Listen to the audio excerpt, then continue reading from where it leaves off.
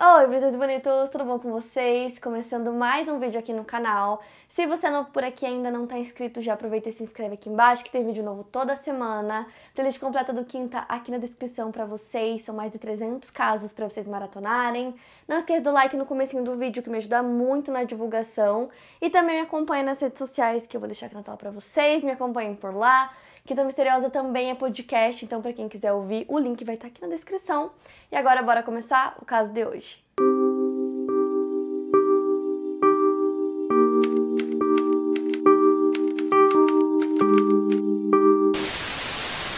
Zara Baker nasceu no dia 16 de novembro de 1999 em Wagga Wagga, Nova Gales do Sul, na Austrália. Filha de Adam Baker e Emily Derrich, os dois conheceram quando Adam tinha um pouco mais de 20 anos e a Emily ainda era uma adolescente, então eles começaram a se relacionar e ela engravidou. Algumas semanas depois da Zara nascer, a Emily estava sofrendo com uma severa depressão pós-parto e achou que a melhor solução naquele momento seria entregar a filha ao pai, e foi o que ela fez. O Adam levou a Zara para casa dos avós em Newcastle, que fica a mais de 600 quilômetros de distância de Wagga Wagga. Com o tempo, o Adam foi afastando a Emily da filha, que acabou vendo a Zara pela última vez quando a criança tinha apenas 8 meses de idade. Já em 2004, o Adam, os pais dele e um dos irmãos dele resolveram se mudar e levaram a Zara junto. Eles foram para Giro, no estado australiano de Queensland que é uma comunidade que em 2016 tinha um pouco mais de 350 habitantes, então bem pequenininha mesmo. E lá toda a família conseguiu empregos em uma fábrica de açúcar local chamada CSR's Invicta. Quando estava na pré-escola, com mais ou menos 6 anos de idade, a Zara recebeu o diagnóstico de câncer nos ossos. Sua avó levou para uma cidade maior, com mais estrutura, para que a Zara pudesse fazer o tratamento da doença. Foram 18 meses de internações e liberações. Por conta da doença, os médicos acabaram retirando algumas partes do pulmão da Zara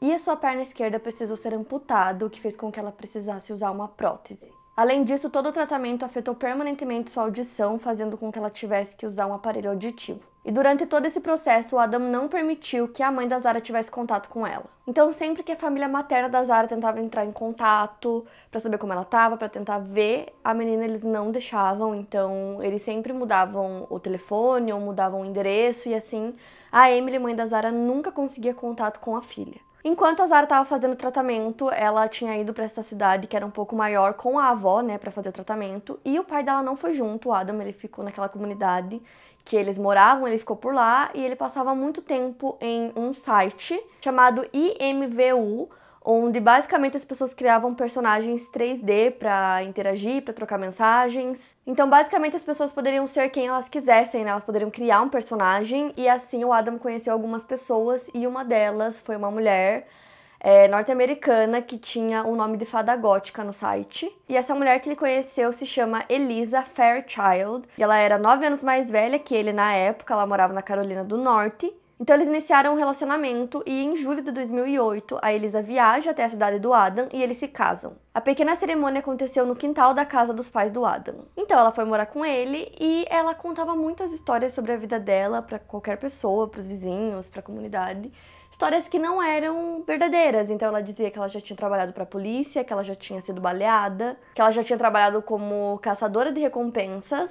Então assim, haviam muitas coisas que não estavam claras desde o início ela omitia e mentia sobre muitas coisas. Ela nasceu em Hickory, na Carolina do Norte, e ao todo elas eram em três irmãs, ela era do meio.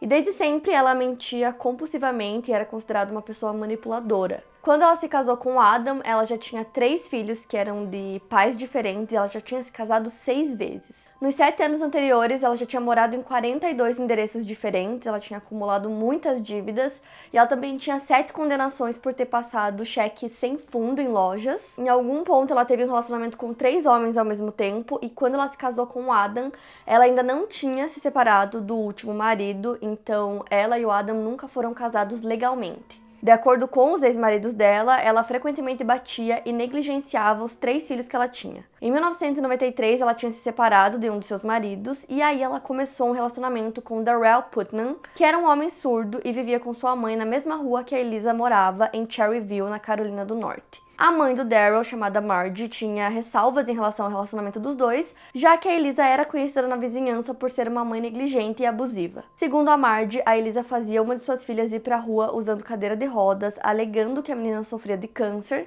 sendo que na verdade não havia nada de errado com ela. O Daryl acabou se tornando o quarto marido da Elisa e logo depois do casamento ela começou a simplesmente sumir de casa por dias com o dinheiro que o Daryl ganhava trabalhando em uma fábrica de tinturas. O casamento acabou quando Daryl encontrou a Elisa em casa casa com outro homem e ele voltou andando para casa da sua mãe, que ficava cerca de 12 quilômetros da casa deles, e atualmente ele mora em uma casa ao lado da casa da mãe dele. Já o quinto marido da Elisa foi o Jeffrey Allred. Ele era um homem de 1,90. Ele era bem robusto, mas ele começou a apanhar da Elisa, que batia nele usando um taco de beisebol e jogava pedras nele também. Eles nunca se divorciaram oficialmente porque o Jeffrey tinha medo de enfrentar a Elisa no tribunal. Já a mãe do Adam, a Karen, ela tinha ressalvas desde o início quanto a Elisa e quanto ao relacionamento dos dois, mas pouco tempo depois deles casarem, né? Aí eles decidiram ir para os Estados Unidos, que era onde a Elisa morava, né, antes. Então o Adam se muda com ela para os Estados Unidos e ele leva a Zara junto. Então eles foram para Hickory, que era a cidade natal dela, e durante esses primeiros meses foi muito difícil para Karen, mãe do Adam, porque ela disse que aconteceu tudo de forma muito repentina, tudo muito rápido, e ela nunca sabia direito é, onde o Adam estava morando, como as coisas estavam. E na verdade ele foi morar com os pais da Elisa no começo, eles ficaram lá durante seis meses, só que aí eles foram expulsos. Posteriormente, o pai da Elisa teria sugerido que a expulsão aconteceu por conta do uso de drogas da filha dele. Então, no meio de 2009, os três foram morar em Granite Falls, também na Carolina do Norte. Então, eles vão morar em um pequeno apartamento alugado e eles ficam lá durante seis meses, mas também são expulsos. A dona do local, Shirley Mims, disse que eles eram pessoas extremamente violentas, que eles brigavam por tudo, tanto dentro do apartamento deles, viviam brigando, quanto fora. Ela disse que eles brigavam no estacionamento, brigavam com as pessoas. E que além disso eles estavam devendo dois aluguéis do apartamento. E ela também comentou que ela nunca tinha visto o Adam sair para trabalhar. Uma coisa também é que quando eles mudaram para esse apartamento, eles levaram a Zara com eles. E a dona disse que viu a Zara no dia da mudança, mas que depois nunca mais viu ela, tanto que ela acreditava que a Zara era neta da Elise, que tinha ido apenas visitar os dois ela não fazia ideia de que a Zara morava lá junto, porque ela nunca mais viu ela em momento algum. Ela nunca saía do apartamento, então nem para ir para escola, nada, ela nunca era vista. E aí ela comentou que ela ouvia alguns barulhos quando tanto Adam quanto a Elisa não estavam em casa, mas que ela não imaginava que era a Zara, que ela só foi perceber que ela morava lá depois que eles saíram. Então eles se mudam novamente para Sawmills e aí eles vão morar numa rua onde um ex-marido da Elisa também morava, só que o Adam não sabia disso. E quando ela foi apresentar os dois, ela apresentou o ex-marido como se fosse um irmão dela. Então eles moram nessa cidade por um tempo e depois voltam para Hickory. Os vizinhos observaram que a Zara mancava, só que eles não sabiam que ela usava uma prótese, né? Que esse era o motivo por ela andar mancando. Eles diziam que eles viam a Elisa andando com ela, fazendo ela subir uma colina, enquanto xingava e batia na criança. Então os vizinhos já tinham visto a Elisa bater, xingar a Zara e também debochar do fato dela ter que usar uma prótese. Uma das vizinhas, chamada Tania Hefner, fez uma denúncia para a polícia depois de confrontar a Elisa. Ela estava enfurecida com o tratamento que ela dava para Zara e ela relatou às autoridades que a Zara estava sendo abusada e também relatou para a escola local, informando tudo o que estava acontecendo. E a escola respondeu que também estava preocupada com a criança porque ela faltava muito às aulas e tinha sinais de abuso. A Zara frequentava a Hudson Elementary School. Em certa ocasião, dois professores foram até a casa dos Bakers depois que ela apareceu na escola com o um olho roxo. E de acordo com alguns vizinhos, uma das professoras deu a Zara seu número de telefone pessoal porque estava muito preocupada com ela. Isso era algo que fugia do protocolo, mas a professora disse que caso ela precisasse, ela poderia ligar para ela a qualquer momento. A Elisa disse para o Adam que a Zara estava com o olho roxo porque ela tinha caído e se machucado. E como a criança não desmentiu a versão da madrasta, ele acabou acreditando. O Adam e a Elisa tinham dois vizinhos chamados Bob Green e Kyla Rottenberry. O Adam e o Bob se tornaram amigos e próximos durante um tempo, até que o casal não aguentou mais as mentiras da Elisa. Eles viam e ouviam a Elisa da Zara, e a Kyla se lembra que em uma das vezes que a Elisa estava batendo na Zara, ela machucou sua mão na prótese da criança. Em uma noite, enquanto Adam e a Elisa tinham saído, o Bob e a Kyla estavam cuidando da Zara, que era amiga dos filhos deles. Enquanto Bob fazia o jantar, a Zara não saía do seu lado. Quando ele viu o carro do Adam retornar naquele dia, ele disse a Zara que logo seus pais iriam pegá-la, e ela correu e se escondeu em um dos quartos porque não queria ir embora. A Zara tinha sinais claros de uma criança que sofria abuso e os vizinhos tentaram ajudá-la. Então, no dia 29 de janeiro e no dia 6 de agosto de 2010, agentes dos serviços sociais foram chamados quatro vezes até o local por ligações de vizinhos que alegavam que ela estava em um ambiente prejudicial e todas as vezes, depois de conversar tanto com a Zara quanto com o Adam e a Elisa, nenhuma atitude foi tomada por parte dos serviços sociais. O caso foi fechado pelo departamento no dia 6 de agosto por não ter encontrado nenhuma evidência de maus tratos ou problemas relacionados à segurança infantil da Zara. Obviamente, quando aconteciam essas visitas, a Zara não confirmava nenhuma das violências, não falava nada, porque ela tinha muito medo da Elisa, ela já sofria muito, era muito abusada então ela não conseguia relatar essas coisas em frente à Elisa, né, para os serviços sociais. Na manhã do dia 9 de outubro de 2010, as autoridades foram chamadas até a casa dos Bakers por uma denúncia relacionada a fogo no quintal da casa. Eles averiguaram e não encontraram nada demais. E perto do local do fogo, o Adam acabou encontrando um bilhete de resgate que tinha sido preso no para-brisa do carro dele. E o bilhete tinha sido escrito em uma conta de energia e estava endereçado ao chefe do Adam, chamado Mark Coffey. Ele era diretor de uma pequena empresa de poda de árvores. O Mark também era o dono da casa que eles moravam, e aí no bilhete dizia que eles queriam um milhão de dólares para o resgate e que eles não poderiam envolver policiais. Nove horas depois de encontrar o bilhete, o Adam liga para a polícia para relatar o desaparecimento da Zara, de 10 anos de idade. E aí ele explica para os policiais que ele encontrou esse bilhete e que ele acredita que confundiram a filha dele com a filha do chefe dele, que seria o alvo inicial dos sequestradores. Porém, enquanto ele fazia essa ligação com os policiais, ele acabou rindo enquanto ele contava o que tinha acontecido, dizendo que a filha dele estava entrando na puberdade, que ela estava em uma fase que ela só saía do quarto quando ela precisava de alguma coisa. Então a busca pela Zara começa, e aí, quatro dias depois, a polícia descobre que era tudo uma mentira, porque a Elisa admitiu que quem escreveu o bilhete foi ela, e por conta disso ela foi presa e acusada de obstrução da justiça. Porém, a Zara ainda não tinha sido encontrada, então agora a polícia volta a atenção para os pais, né? Para a madrasta e para o pai dela, para descobrir o que tinha acontecido. E aí a Elisa disse que na verdade ela não tinha sumido no dia 9, como eles relataram, que na verdade ela já tinha desaparecido cerca de 15 dias antes, por volta do dia 25 de setembro. Então a polícia começou a questionar o Adam como que ele não tinha percebido que a filha tinha sumido há 15 dias, como ele entrava e saía de casa todos os dias e não percebia que a filha não estava lá. Ele respondeu que a Elisa era muito manipuladora, controladora e abusiva. Ele disse que na época ele estava sofrendo muita pressão no trabalho, então ele saía de casa antes da Zara acordar e quando ele chegava à noite ela já estava dormindo. Ele também disse para a polícia que ele checava a filha todos os dias no quarto e que ela parecia estar na cama dormindo e que era o que ele achava, mas que poderia ser alguma outra coisa que tinha sido colocada na cama para parecer ser a Zara. Então agora a polícia tinha pelo menos uma data da última vez que a Zara tinha sido vista, né, no caso 25 de setembro, e aí eles começaram a checar os registros telefônicos tanto do Adam quanto da Elisa e perceberam que eles tinham que mudar um pouco o foco da investigação. Segundo o registro do GPS do Adam, ele estava em Conover, que fica a mais de 30 quilômetros de distância da casa deles. Já a Elisa estava em uma floresta nas proximidades de Hickory. Testemunhas oculares foram capazes de confirmar que viram o Adam em Conover, então a Elisa passou a se tornar o foco da investigação. Duas semanas depois de ser presa, a Elisa levou a polícia ao leste dos Apalaches, onde ela alegou que era o local onde o GPS estava marcando naquele dia. O Adam foi preso em outubro de 2011 por acusações não relacionadas que incluíam agressão com arma mortal, mas foi liberado sob fiança não muito tempo depois. Depois, junto do seu advogado, a Elisa teria dito à polícia que depois de falecer, a Zara teria sido desmembrada e as partes do seu corpo foram colocadas em sacos de lixo e depois enroladas em um edredom e uma capa de carro. Ela disse que sangue, fluidos corporais e pedaços de ossos poderiam ser encontrados no ralo da banheira e orientou a polícia sobre onde estariam os restos mortais da menina. A Elisa indicou a lixeira onde ela e o Adam teriam descartado o colchão, o cobertor e a capa do carro que foram usados para transportar e esconder as partes do corpo. No início de novembro de 2010, no dia 11, restos mortais foram encontrados enquanto a polícia vasculhava uma área ao longo de Dudley Shows Road, no condado de Caldwell, e nas margens e águas do adjacente Gunpowder Creek, onde Elisa já havia levado eles anteriormente. A polícia procurava nas margens do riacho e mergulhadores estavam verificando a água. Além disso, foram feitos três buracos de até 3 metros de diâmetro para procurar por evidências.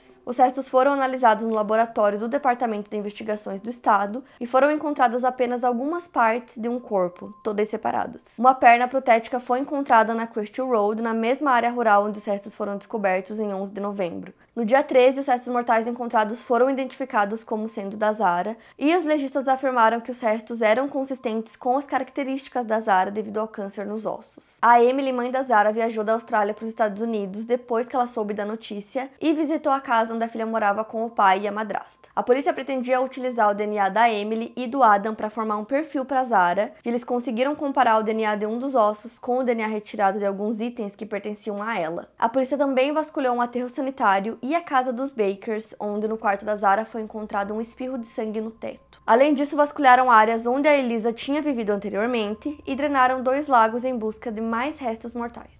A autópsia concluiu que a Zara foi desmembrada após a morte e que foram utilizados dois instrumentos de corte diferentes para isso. O crânio dela não foi encontrado na época. O relatório não especificou a causa da morte, mas conseguiu concluir que a Zara teve duas costelas quebradas anteriormente durante sua infância e possivelmente durante o seu tratamento contra o câncer, e a causa da morte declarada no relatório foi de violência homicida indeterminada. Os investigadores procuraram pelos registros médicos da Zara e eles perceberam que havia apenas um registro médico dela no período de dois anos que ela viveu nos Estados Unidos.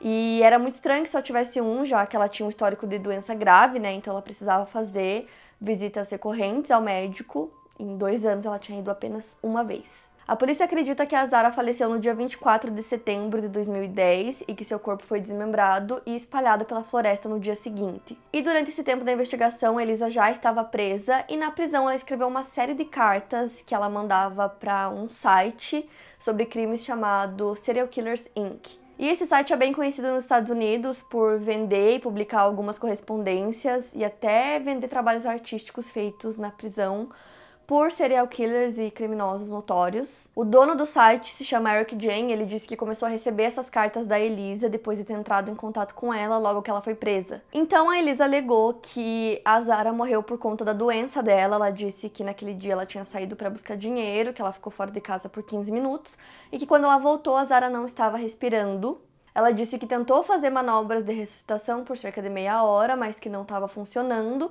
e que ela não ligou para emergência porque estava com medo. Nessas cartas, ela alega que ela e o Adam não foram os culpados, que eles não fizeram nada contra Zara e que depois que ela estava morta, o Adam teria feito algo horrível, dando a entender que ele teria desmembrado o corpo, algo que o Adam nega. Ela também disse que ela estava junto do Adam, ajudando ele a se livrar dos restos, o que é mentira, não tem como ser verdade, porque naquele dia ela estava em um lugar, o Adam estava em outro, que foi confirmado pelo GPS, por testemunhas oculares também. E naquele dia ela fez muitas ligações para ele, o que não faria sentido se eles estivessem juntos. E ainda em novembro, a polícia estava investigando acusações de bigamia contra a Elisa, que é basicamente quando a pessoa se casa ainda estando casado com outra pessoa, e aí ela respondeu que quando ela foi para a Austrália para casar com o Adam, ela acreditava que ela poderia, porque o ex-marido já teria entrado com o processo né, de divórcio, o que não aconteceu, então ela ainda era casada. A polícia também descobriu que em 2009 ela teria recebido uma quantia de 10 mil dólares de um homem da Inglaterra, mas eles não conseguiram relacionar isso com a bigamia. E aí, em um dos mandados de busca realizados pela polícia que foram divulgados em dezembro de 2010, um informante disse que a Zara estava em uma casa na Carolina do Norte com dois homens, e um dos homens disse que fez algo muito ruim e precisava deixar a cidade. Um dos homens era associado à madrasta da Zara, mas não era o pai dela, não era o Adam. O informante também disse à polícia que a Zara havia sido abusada pelos dois homens e que ela tinha sangue em suas partes íntimas e pernas, segundo o mandado de busca. O informante disse à polícia que recebeu a informação sobre o suposto abuso de um amigo que soube disso através da sua irmã. A polícia foi até essa casa para confirmar todas essas informações e eles encontraram um colchão que tinha uma grande mancha escura no meio. O informante disse que os homens não chegaram a admitir ter assassinado a Zara, mas que eles disseram que eles poderiam ter batido na cabeça dela. Mas assim, não foi possível comprovar nada relacionado a isso, porque a Elisa nunca contou o que realmente aconteceu. Ela sempre fica nessa narrativa de que a Zara morreu por conta da doença e ela nunca explicou o que de fato aconteceu com ela. E nisso, os advogados da Elisa apresentaram um documento pedindo a redução da fiança dela, dizendo que ela estava cooperando, que ela estava ajudando a polícia a encontrar os restos mortais. E a cooperação na investigação fez com que a acusação de homicídio dela fosse reduzida a uma acusação de homicídio em segundo grau, evitando que ela pudesse receber como pena é, execução por injeção letal na Carolina do Norte. O Adam foi preso no meio de abril de 2011 por falsa identidade, que ele fez para conseguir que uma companhia elétrica fosse até o apartamento dele. Ele já tinha seis acusações por passar cheques falsos e também por ter alugado uma, um maquinário e não ter devolvido. Além disso, ele já havia brigado fisicamente com um dos parentes da Elisa por dinheiro.